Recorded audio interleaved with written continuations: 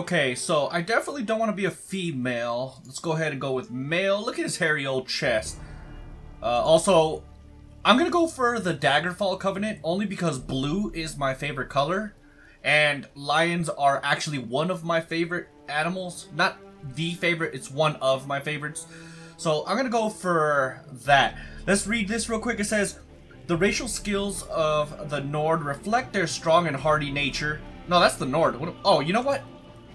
There's no way I'm not going to choose the Imperial. There's no way I'm not going to choose this, man. Imperial is my favorite race, followed probably by the Khajiit, and then the Wood Elf after that. That's probably the sequential order of my favorites. So Imperial first, Khajiit second, and then the Wood Elf third. But I almost always choose Imperial because it's just my favorite character or uh, uh, race in Elder Scrolls for some reason. I don't know. I, I just really, really thoroughly enjoy this character. So let's read the Imperial. The racial skills of the Imperials reflect their combat training and perseverance in battle, giving them bonuses to gold drop rates, shield proficiency, uh, base health and stamina, and cost reduction abilities, making them resolute fighters. So, it doesn't say what kind of combat, though. Let's randomize a couple times and see what what happens here. Definitely don't want to be super tattooed up. Wow, these are all ugly. This was probably the closest. You know what? We're going to work on him. After we choose our class, apparently. So let's see. Dragon Knight. These skillful masters, masters at arms use the ancient Akaviri uh, martial arts tradition in battle spirit and wield fearsome magic that pounds, shatters, and physically alters the world around them. So they are pretty much good at everything, which kind of leads me to believe that this is probably one of those races that is like good at everything but not excellent at anything in particular. Let's read the Sorcerer. I do like the fact that it's a dragon though. Seen as Imperial's logo is like that diamond-shaped dragon thing. So I might I might go with Dragon Knight just for that reason, and then just build a character off of that, but we'll see. So Sorcerer. Sorcerers can use Conjuration and Destruction spells to hurl lightning bolts and create shock fields, wielding dark magic to snare and stun and summon Daedric uh, combat followers from Oblivion to a system. That's actually pretty cool that you can summon, uh, I'm, I'm assuming like Daedra and Scamps and stuff like that. Uh, Nightblade. Nightblades are adventurers and opposite and, and opportunists with a gift for uh, getting in and out of trouble, relying various uh, variously on stealth, blades, and speed. Nightblades uh, thrive on conflict and misfortune, trusting to their lack and uh, cunning to survive. So this is definitely a stealth character. That sounds pretty cool. Templar. These traveling knights call upon the powers of light in the burning and the burning sun to deal massive damage to their enemies while restoring health, magicka, and stamina to their allies. So I'm assuming this is probably the go-to healer uh, for Elder Scrolls Online. Probably. The Warden. Wardens are defenders of the green. Uh, Wardens are the de uh, defenders of the green. Master storytellers uh, whose nature tales become magical reality. They wield frost spells against enemies and summon animals to aid them. So this is probably the natural version of the of the uh, of the sorcerer. So this is probably this is obviously like the necromancy type stuff and uh, Daedric thing, and this is probably. Oh wait, and then this is probably the natural but then I just saw this right here. This is clearly the necromancy. So this is the Daedric. This is the natural, and this is probably the uh, necromancer then. Masters of Death. Necromancers can call upon corpses, it definitely is, to serve as undead thralls and weave ghastly spells to both harm and heal. Warning, using certain necromancer abilities in town is a criminal act. Citizens and guards will react accordingly. Okay, I think I'm gonna go with Dragon Knight. Mainly because it kind of seems like these guys are probably good at everything and not excellent at anything, but I would probably build my character off of that and just kind of scale my character depending on how I'm feeling like I'm playing. So I'm gonna stick with him. I'm definitely gonna take off these tattoos though, for sure. Oh, I'm, I'm gonna be buff. Alright, so I'm a little dark skinned. I think that's I think that's good. Body markings, can I Okay, yeah, I thought I thought that was the tattoos. Upper body torso? Oh damn, yeah, okay, well he's gonna be buff. I'm not Dude, look at those triceps. Oh my god, dude, this dude is massive. Definitely. Chest size? Oh, I gotta see this. Let's see. Flat chested, massive. Look at him. Okay, yeah, we're gonna go for that though. Uh, because I want him to be massive. I think I'm gonna go with like a shield and sword type of warrior. I don't know. I haven't decided yet. Uh, chest size, gut size, I gotta see this too. Oh, that's not that bad. And this looks just disgusting. So we'll put him... Um, we'll put him right there. I. That looks about normal, I think. Waist size, does it... Is it...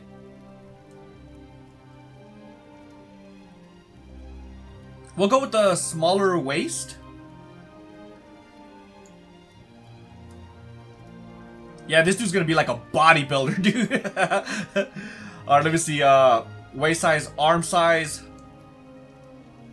Yeah, we'll go with massive. Hand size. This dude's a bodybuilder, so clearly he has to have massive hands, right?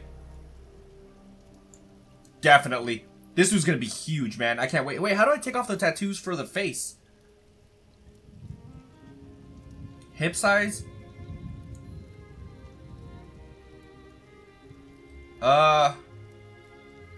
I guess that's fine. Posterior? Is that the ass? Let me see. He is. Oh, he's gonna have a... This dude's gonna be the perfect specimen for anyone to wield their eyes on. Or to, to put their eyes on. Uh, leg size. This dude does not skip leg day, okay? Foot size. I guess foot size doesn't really matter. But I, I guess I'll put it big just to... Just to, like, balance out the body. Uh... Is that is that... Oh, face. This has to be... Uh... I guess... I guess that's fine. Hairstyle.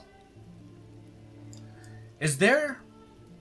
Let me see. I gotta go through this one at a time. I do wear my hair like this sometimes, but like right now I have like a little uh, like a man bun, I guess. So if it's the man bun is probably the way I wear my hair the most. So if there's one of those in the game, I'll go with that. That's probably the closest so far. Uh, this one's actually, this one's actually pretty cool. I like this one, but it doesn't really fit the Imperial look, does it? No. So I, I don't want a ponytail though. You know what? There's one that I used in Skyrim that I... Is it that one actually? This is probably the closest to... Uh, to what I'm looking for. Well, I want black hair because I obviously have black hair. Age... Uh, oh, I definitely don't want to be that old. I don't look that old, do I? Let me, uh, no, I don't. I don't think so, at least. So we'll go with... We'll go with younger. Adornment, what is that? Is that like his beard? Alright, hold on. I'm, I'm kind of confused. I gotta go slowly. I don't want a massive beard. It's hard to see because of all this... Okay, we'll come back for that, actually. Uh, can I... Let me look real quick. We're still on adornment. Or head marking. Oh, that's it. Let's take that off complete. Actually, this one looks good. This one actually doesn't look bad. So we'll stick with that for now. Let me just go all the way around though and see if there's a beard.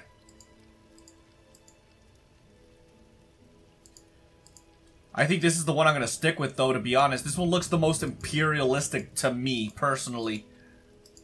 Whatever that means, I don't know. But we'll stick to that one.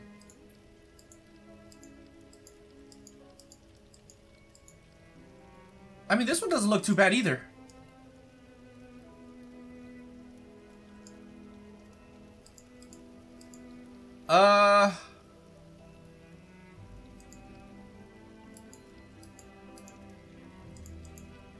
Closer, so I'm sticking to that one. Forehead slope? Hold up.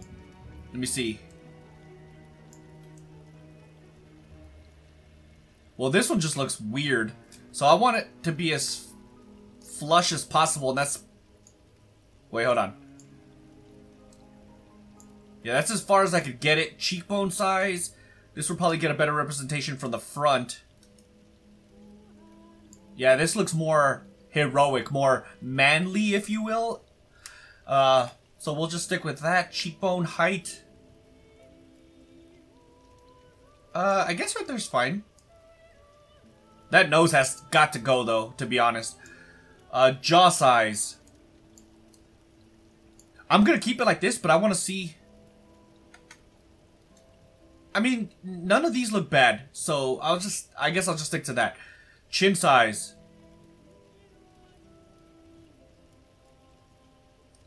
I think somewhere right in the middle should be fine. Actually, let's stick it perfectly in the middle. That's pro- oh, I can zoom him out? Oh, oh, oh, zoom back in. Alright, let me see. Where are we? Chin size, uh, chin height. I don't really want to mess with this too much. Yeah, because it's perfect right right there. Next size, this dude is buff. The hands down. So I have like a I have a dark brown, but so we'll yeah we'll just stick with that. Eye size. This looks fine too, but let's just see. No, yeah, that looks weird in every other way possible. So let's just stick to uh middle. Eye angle looks fine. I don't think I want to mess with the eye angle or the eye separation. Hold on.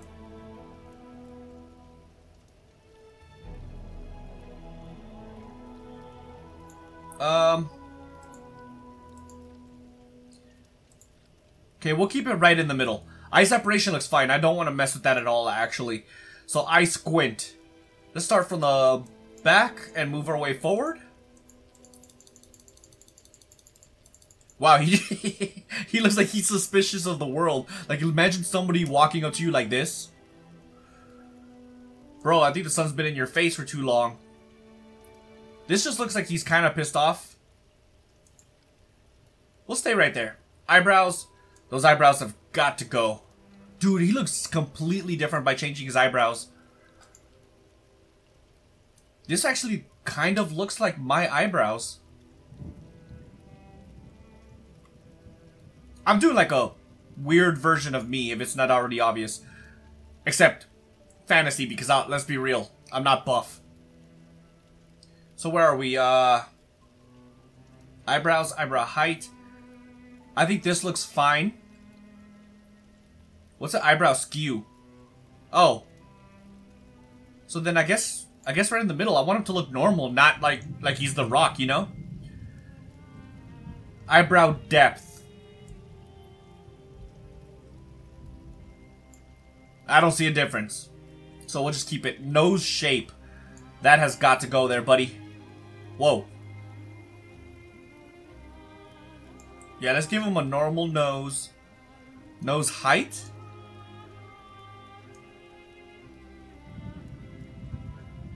Oh, that's width. Oops. So I we'll give him a little bit of a... Uh, that kind of starting to look like me in a weird way. Whoa. Yeah, we'll we'll leave it like that. I think that looks fine. Uh, mouth height. I don't really want to change that. Mouth curve. What's a mouth curve? Oh, happy or sad. Oh, look, he's a sad man. We'll we'll give him a blank face. Lip fullness? Some voluptuous lips? Or some nothing. My lips are kind of average, I think. Maybe, maybe below the middle. Uh, well, we'll just leave it in the middle. I think that's probably the closest I'm gonna get to my actual lips because I don't have very big lips or tiny lips. They're kind, they're normal, I think. So ear size. You guys can't see, but I do have kind of big ears, so. uh, we'll we'll just leave it like that. Ear rotation. Oh, that's Uh, I guess right there's perfect. Ear height. I think that's perfect there too.